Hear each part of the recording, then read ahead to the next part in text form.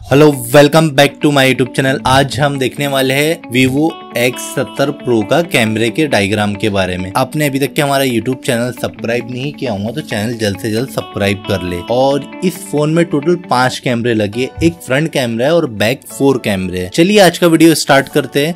तो आप ये देख लीजिए, मैं ज़्यादा कुछ बताना नहीं चाहूँगा आपको। फ्रंट कैमरा का कनेक्टर हमारा ये है, इस तरीके से कुछ कनेक्शन है। जैसा आप देख पा रहे होंगे तो कुछ पावर में गए हैं। कुछ सी में गए हैं तो आप ये देख सकते हो, इस तरीके के कनेक्शन गए हुए तो मैं आपको ये छोटा करके भी दिखा देता हूँ स्क्रीन में, ये फ्रंट कैमरे के कनेक्शन है कुछ इस तरीके के। अब आ जाते हैं हमारे 16 मेगापिक्सल वाले कैमरे में। ये 16 मेक्सल 16 मेगापिक्सल का अल्ट्रा वाला कैमरा है ये, ठीक है? तो ये देख लीजिए, इस तरीके से इसके भी कनेक्ट तो ये देख लीजिए, इस तरीके से कुछ कनेक्शन है। तो इसके भी कनेक्शन ज़्यादातर सीपीयू में गए हुए हमारे। अब आ जाते हैं हमारे नेक्स्ट कैमरे पे 12 मेगापिक्सल का कैमरा है ये। ये इसके भी कुछ इस तरीके के कनेक्शन गए हुए आप देख पा रहे होंगे जैसा, ठीक है? टेलीफोटो लेंस बोलते हैं इसे।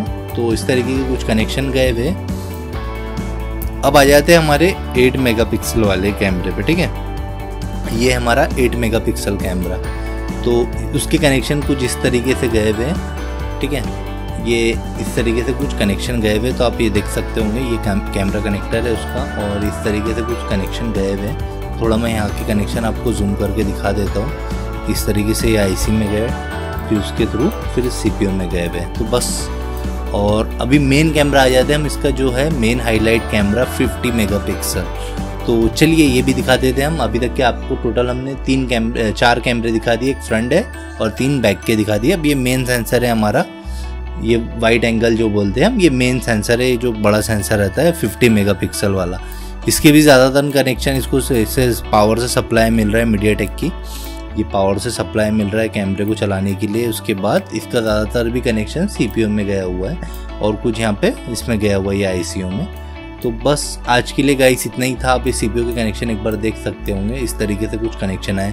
तो आज के लिए गाइस बस इतना ही था। अगर आपने अभी तक के हमारा यूट्यूब चैनल सब्सक्राइब नहीं किया हुआ तो चैनल जल्द से जल्द सब्सक्राइब कर ले और साथ ही साथ बेल आइकॉन ज़रूर दबा ले। तो चलिए अब मिलते हैं आपसे नेक्स्ट वीडियो में ओके बाय बाय